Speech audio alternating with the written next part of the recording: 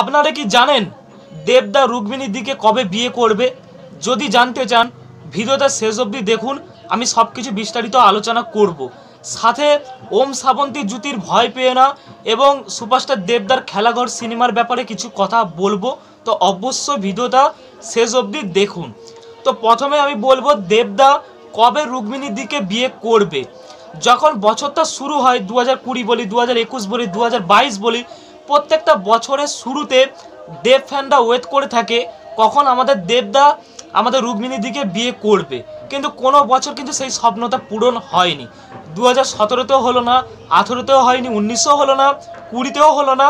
তো একুশে লকডাউন ছিল, কুড়িতেও মাঝখান থেকে লকডাউন ছিল, করোনা পরিস্থিতি। তো এবার ফ্যানদের কাছে একটাই প্রশ্ন থেকে যায়, তাহলে কি দু হাজার বাইশের দেবদা রুক্মিণীর দিকে বিয়ে করবে? তো বলে দেই কোনো চান্স কিন্তু সেরকম নেই। কেন নেই? কারণ এই মুহূর্তে দেবদার হাতে প্রচুর সিনেমা তার খেলাঘর থেকে, কমান্ডো থেকে, রঘু দেখার থেকে এই বছর প্রত্যেকটা সিনেমা শুটিংয়ে যাবে। এবং সাথে রাজনীতির বিভিন্ন কাজ, কিসমিস সিনেমার প্রোডাকশন হাউসের কাজ, তারপরে তোমার super singer three grand final যে প্রোগ্রামটা আসতে চলেছে, ওখানেও কিন্তু ব্যস্ত রয়েছেন সুপারস্টার দেব। তো এত মানে কাজের মধ্যে বা এই রকম পরিস্থিতিতে দেবদা বিয়ে করার সময় বা সুযোগ কিন্তু পাওয়া খুব মুশকিল। তো কোনো রকম চান্স নেই। তবে দু হাজার তেইশে আশা করা যায় যে আমাদের স্বপ্ন বা আমাদের জীবনের যে সব থেকে বড় যে আনন্দের যে ব্যাপারটা, সেটা পূরণ হবে। তো যাই হোক, সে যবেই বিয়ে করুক, দেবদা আমাদের কাছে সবসময় সেরা। তো আর একটা এখানে চমক আছে, সেটা হচ্ছে দেবদার সঙ্গে রুক্মিণীর বিয়ে হবে কিসমিস সিনেমাতে। আশা করা যায়।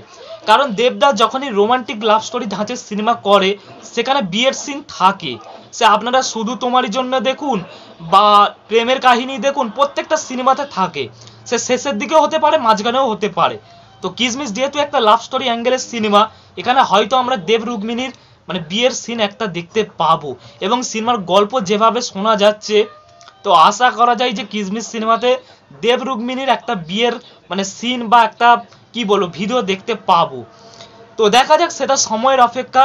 তো কিসমিস আশা করা যায় যে দু হাজার বাইশে একটা বড় রেকর্ড করে দেখাবে।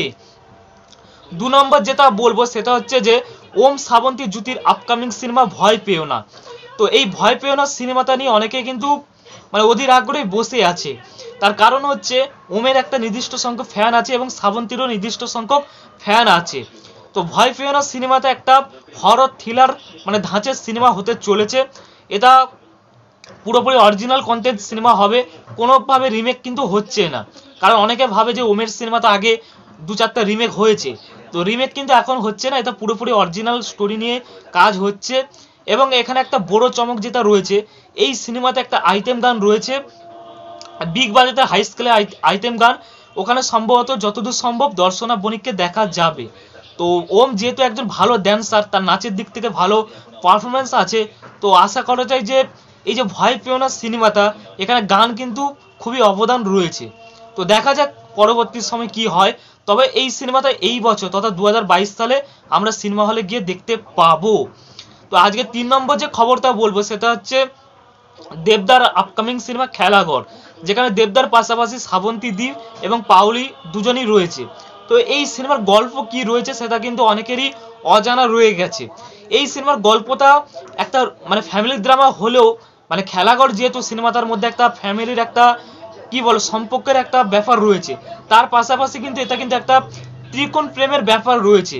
তথা আমরা যেরকম শেষ থেকে শুরুতে কিছুটা দেখেছিলাম যে, একটা হিরোর সঙ্গে দুটো নায়িকার ভালোবাসা, ঠিক সেরকম কিন্তু একটা গল্প আমরা খেলাঘরেও দেখতে পারি।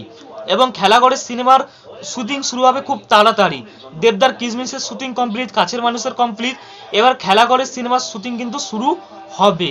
তো আশা করা যায় যে, করা যায় যদি সব কিছু ঠিকঠাক থাকে, তাহলে কিন্তু এই সিনেমাটা আমরা দু হাজার তেইশে সরস্বতী পুজোর টাইমে দেখতে পাবো। তো দেখা যাক পরবর্তী সময় কি হয়। তো এইগুলোই ছিল ভিডিওতে বলার। আপনাদের কি মতামত? নিচের কমেন্ট বক্সে লিখে জানান। আর ভিডিওটা ভালো লাগলে একটা লাইক করুন সাবস্ক্রাইব করুন, বেশি বেশি করে শেয়ার করুন। দেখা হবে নতুন কোনো ভিডিওতে। Bye bye